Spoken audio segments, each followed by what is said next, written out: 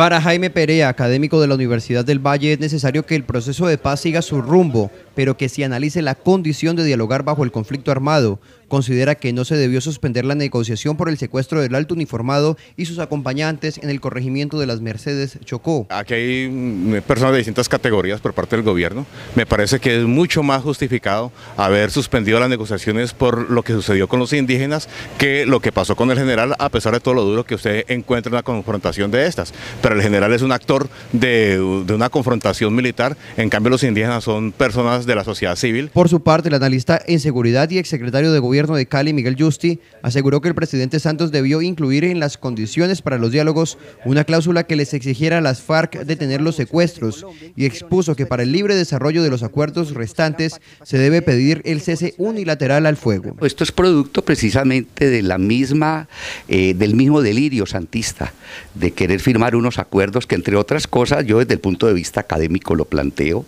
esos tres acuerdos, esos tres puntos en los que según el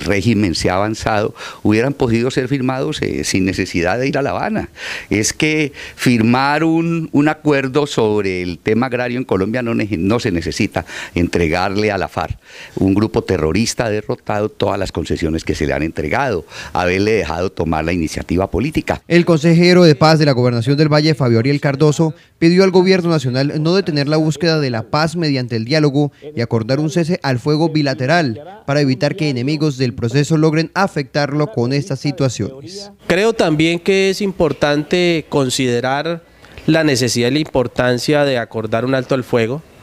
Eh, un alto al fuego le otorgaría garantías, mayores niveles de confianza al proceso, solidez, eh, porque eh, negociar en medio del conflicto, pues como todos los colombianos podemos darnos cuenta hoy, eh, a partir de esta noticia,